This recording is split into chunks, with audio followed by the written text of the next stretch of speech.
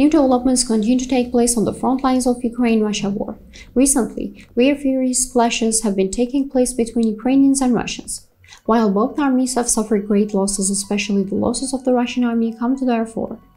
Since the beginning of the war, Russia's losses have reached terrible levels.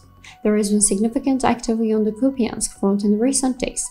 Russian army has chosen the Kupiansk front as the main focus of its offensive and has formed an assault group of eight Storm Z assault units.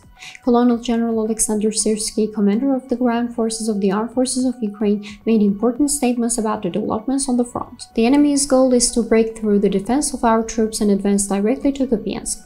The fighting is extremely intense right now. Some positions have changed hands several times in the past days, Syrskyi said.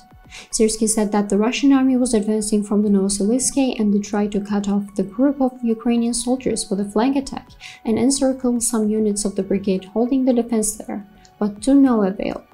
Our soldiers bravely hold the defense and repel all attempts of the enemy to advance, Ukrainian commander said.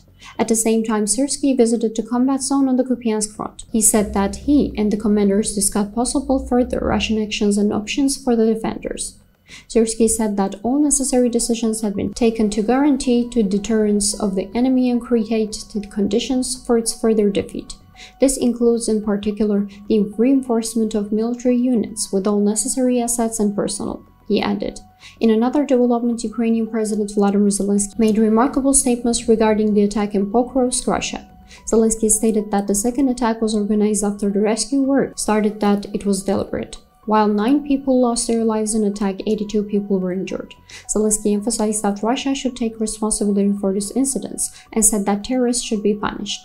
Among those injured in the attack were police and rescue workers. How do you interpret the developments? What do you think about Ukraine's defense on the front line? We are waiting for your opinions. Also, for more news, continue by clicking on our video on the top right.